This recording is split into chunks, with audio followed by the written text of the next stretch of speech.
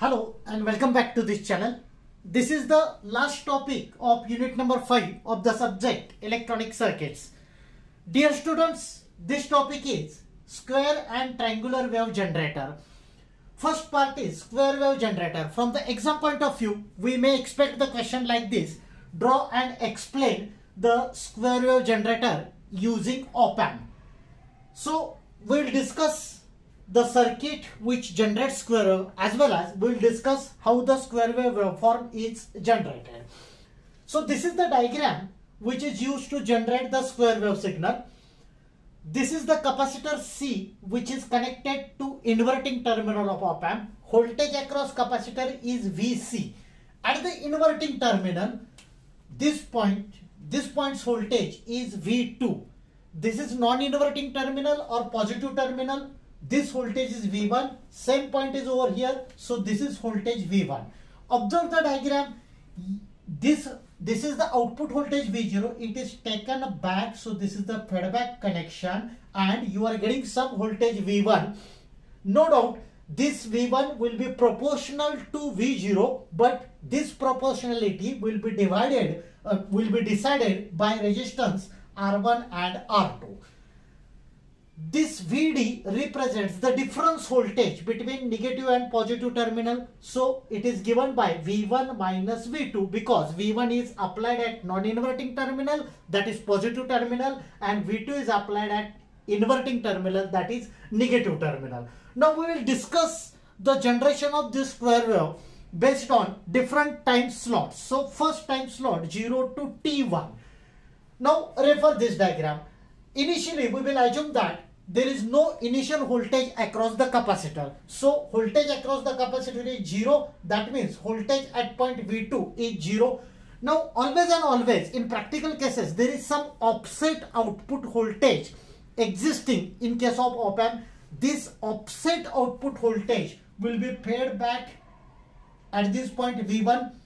So you are getting some voltage. Let us say this voltage initially is positive voltage. So we will assume that certain positive voltage is initially present at point V1. This point is same as the point which is connected at non-inverting terminal. It indicates that V1 is having some positive value whereas V2 is 0 initially that is at T is equals to 0.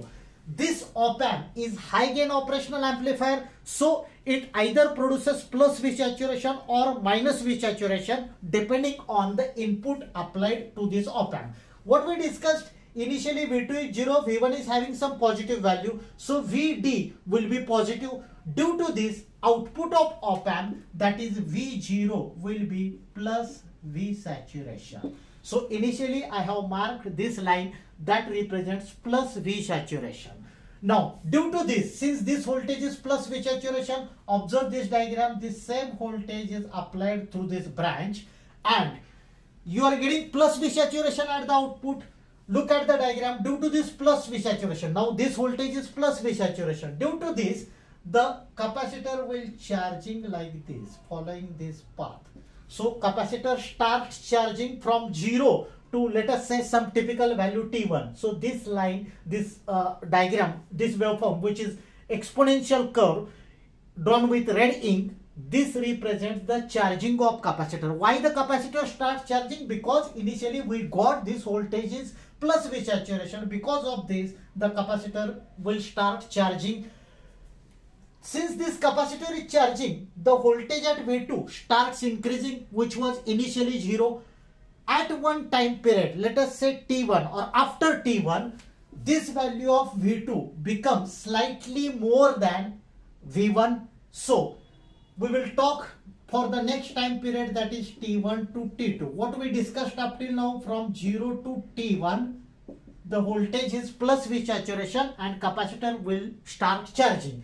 Now, from T1 to T2, the point at which this voltage V2 becomes more than V1. Why it becomes more? Because capacitor is continuously charging. So when, the, when this point's voltage becomes more, that means negative points, negative terminals voltage will be more than positive terminals voltage.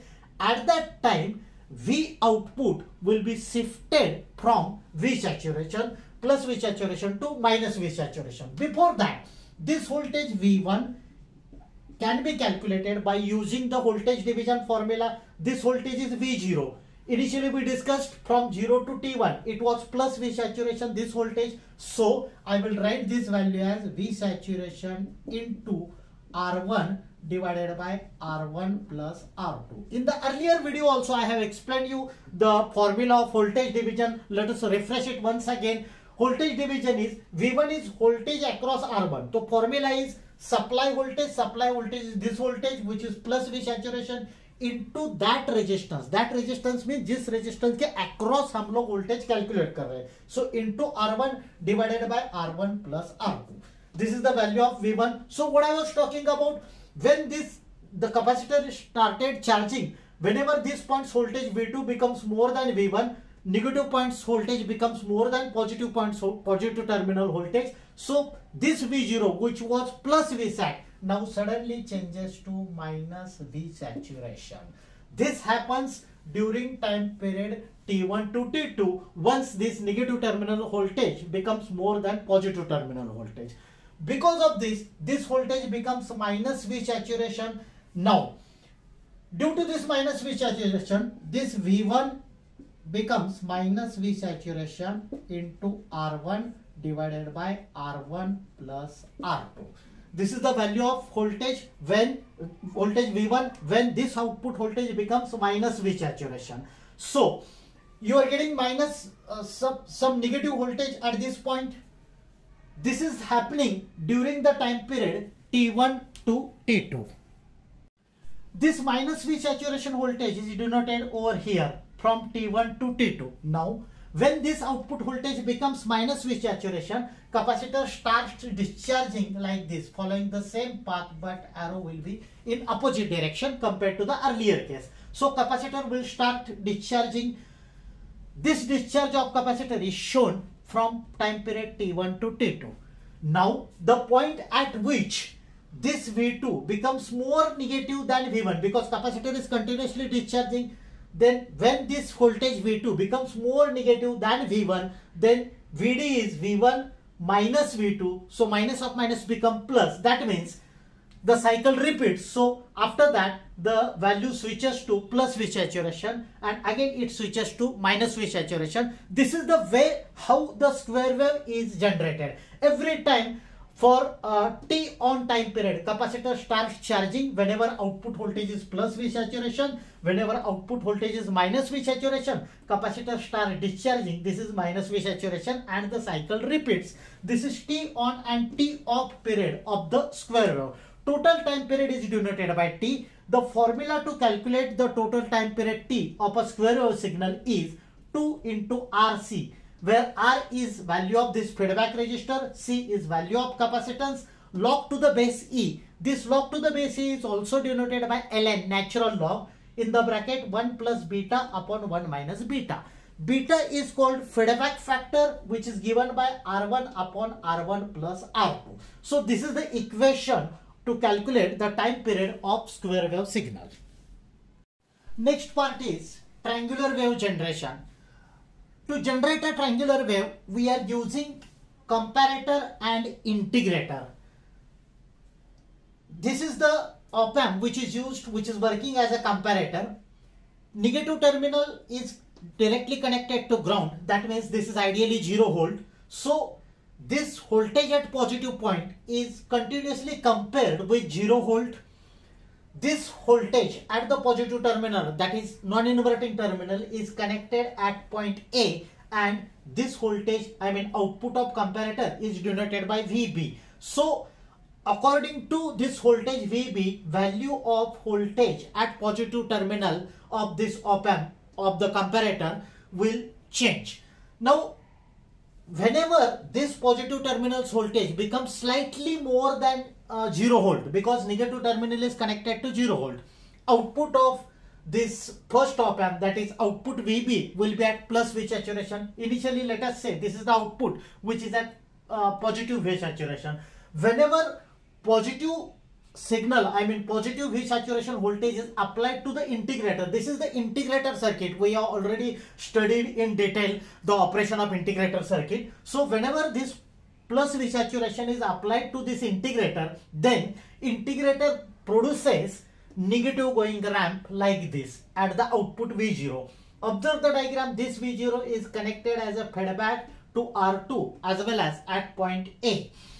So you are getting a negative going uh, ramp like this. Remember it like this. जब भी voltage plus we saturation होता है तो negative ramp आता है whenever voltage becomes minus V saturation you will get a positive ramp now you are getting a negative ramp voltage like this so this voltage will start moving towards negative value so whenever this reaches to the negative value this negative voltage i mean uh, this feedback voltage which is negative is applied to positive terminal of this op amp. Negative terminal of this op amp is already connected to ground. So output of comparator will be minus v saturation like this.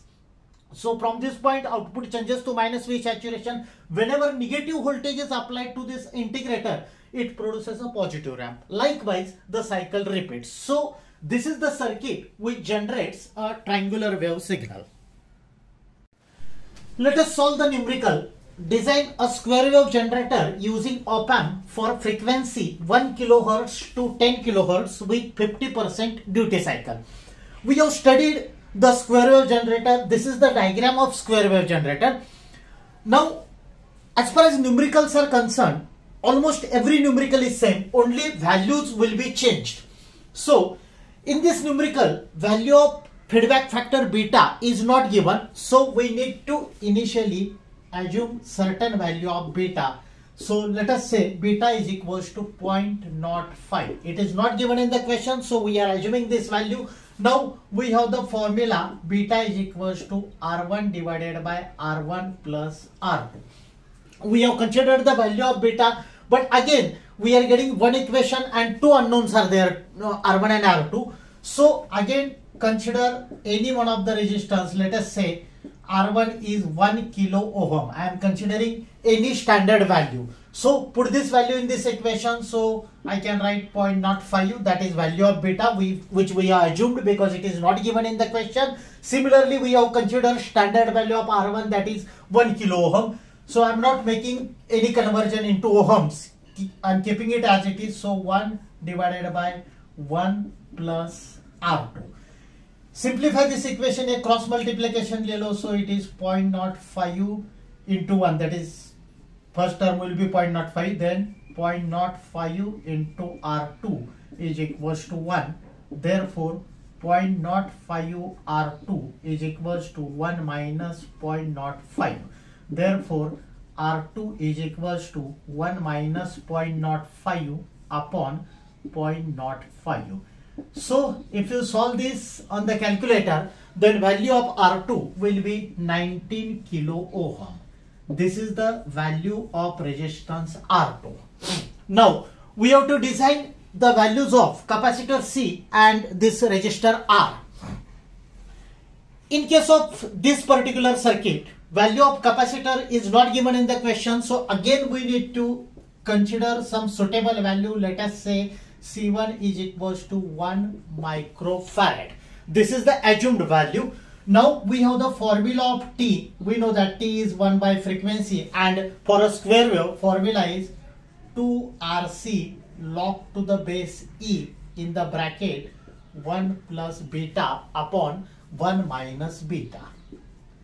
Do remember this is log to the base E. It can be well written as ln natural log and we know that T is 1 by F. But two frequencies are given. First frequency is 1 kilohertz. Second frequency is 10 kilohertz. So, first calculation for 1 kilohertz. Now, if you put this value 1 kilohertz, then T, यहाँ पे मैं लिखता हूँ T will be 1 upon 1 kilohertz means 10 raised to 3 10 raised to 3 hertz. So this is 10 raised to minus 3. So I can write this value as 10 raised to minus 3 is equals to 2 R. I am keeping R as it is into C. C is 1 microfarad. 1 microfarad is 1 into 10 raised to minus 6 log to the base E inside the bracket ये t का value मैंने put किया है यहाँ पे 10 raised to minus 3 inside the bracket 1 plus 0.05 upon 1 minus 0.05 now we need to calculate value of r. So r can be written as uh, ये पूरे term बाकी सब टर्म एलएचएस में ट्रांसफ़र कर लो. So it is ten raise to minus three upon two into one into ten raise to minus six into log to the base e one plus point nought five upon one minus point nought five so this gives value of r. If you solve this on the calculator then you'll get value of r that is equals to 4995 4995.83 ohm. So approximately we can take this value as 5 kilo ohm. This is value of R for one particular frequency. देखो problem में variation क्या हो सकता है इसमें दो frequencies दिए instead of that if only one frequency is given we have to do the calculation up to this point only but two frequencies are given so let us do the calculation for another frequency that is 10 kilohertz what will be the change यहाँ पे जो t का value हमने 10 raise to minus three लिखा था that will be changed in this case t will be 1 by f that is 1 by 10 kilohertz means 10 10 into 10 raised to 3 hertz which is 10 raised to minus 4 मतलब इस place में सिर्फ 10 raised to minus 4 आएगा remaining all calculations will be same so this gives value of r for 10 kilohertz you are getting value of r is 498.58 so you can again uh, approximate this value so that is approximately equals to standard value of 5 kilo ohm so we are getting two values of resistance one is 5 kilo ohm another is 500 ohm sorry 500 ohm it is not kilo ohm it is 500 ohm so we have to use a variable resistor because we have two values of R. That's why here R is shown as a pot that is variable resistance. In the earlier diagram we had shown ये ground है यहाँ पे. In the earlier diagram we have shown R2 is variable but in this case two frequencies are given and I am getting two values of R. So R is shown as a variable resistance. So this is the way how to solve numericals as far as this square wave generation is concerned. As I said limited variation are there सिर्फ़ एक frequency दिया रहेगा तो एक ही value R2 का calculate करना है। And after doing this calculation draw the diagram and write the values of component in the diagram for example ये कैपेसिटर C है उसका वैल्यू हमने 0.1 माइक्रोफैरेड कंसिडर किया था ये लिखता हूँ यहाँ पे। This is 500 ohm to 5 kilo ohm well write a variable resistance of 5 uh, fixed you can well use fixed resistance of 500 ohm and variable resistance of 5 kilo ohm then value of r2 value of r2 we have calculated that is this value 19 kilo ohm and value of r1 we considered it as 1 kilo ohm. So this is the final diagram of square wave generator. So dear students that's it for today's session. So thank you. Thanks a lot for watching this video